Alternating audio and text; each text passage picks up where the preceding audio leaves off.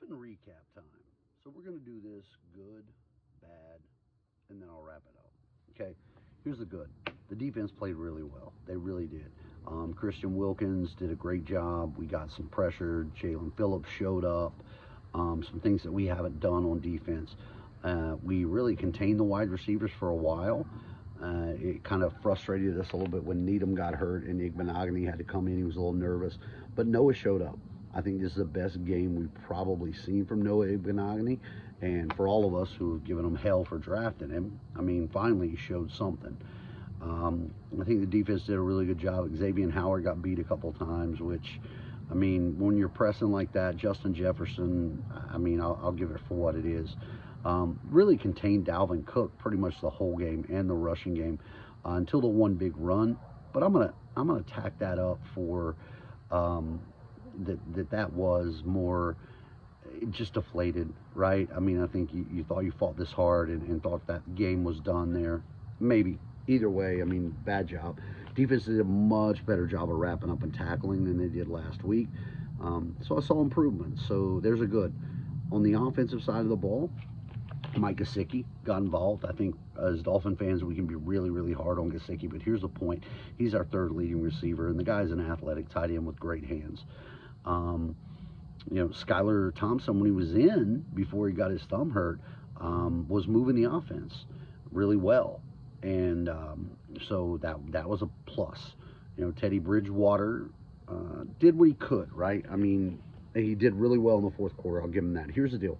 This offense just is not designed right now, or at least the offensive line play is not at a level that lets Teddy Bridgewater do what he needs to do. Teddy's a great quarterback, not as mobile, not as young, not as fast as he used to be. Um, I will flash back to one bad. I think Teddy's pocket presence is awful. He rolled into a couple of sacks that shouldn't have been, and um, that was bad. But um, so, you know, th- there's the good, right? So let's go to the bad. The bad is we keep killing ourselves with penalties. Just keep killing ourselves with penalties.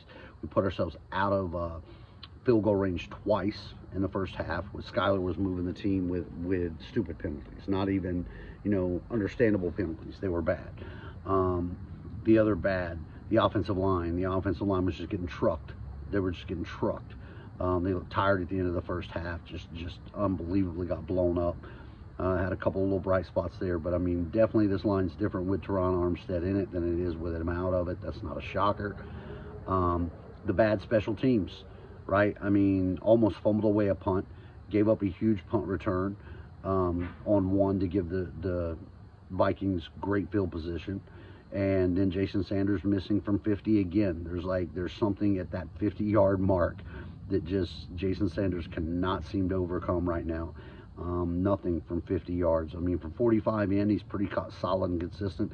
You get him past 45, it's bad. Um, the other bad, Jaylen Waddle. I don't know what's up with Waddle.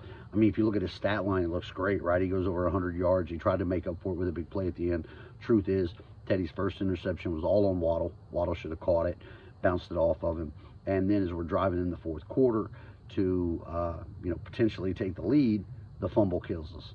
So that's tough. Uh, the bad, the running game did not get Mostert going again, and it fell apart. We moved away from it. So here's the all in all three and three. It's a good Minnesota Vikings team. I mean, look, they just moved to five and one, whatever you want to say. And, and we really did contain their offense pretty well. Um, we see that our offense is built for a different brand of quarterback. Hopefully, Tua's coming back next week. Look, we're six weeks into the season. We're sitting at three and three. Schedule's not super tough. Um, so, you know, there's still a chance for, for us to make a bounce back in this. There were a lot of positives to take away from it. Again, the score is going to look different than what the game was. I think we were definitely in this game and fighting the whole time. Love to see the fire of what that was. Um, Tyreek Hill is still just a game changer, man. That guy does everything, and we need to do everything we can to build those pieces around him and give him a chance to be that guy. And um, again, good to see Gesicki get involved. And that's where we're at, Dolphin fans you know, three and three, take it for what it is. You, you really can't get two up or two down. You know, this is again, you know, they said what third game in a row that the starting quarterback for the Dolphins have been knocked out. Next man up, right? Next man up in the NFL, absolutely, but that's tough to overcome. So let's just, you know, take this for what it is, three and three. Let's reset, take a deep breath. Hopefully Tua returns next week, and, and we get to see what the Dolphins were prior to this. Um, the adversity early in the season is not bad. You can't hate it. Um, it's going to build character. That's what this does. And it's all about getting right at the right time. Not out of the division, not out of the playoffs. It's all still wide open. So we're not jumping off cliffs. We're not super happy. But let's see what next week brings us. Fins up.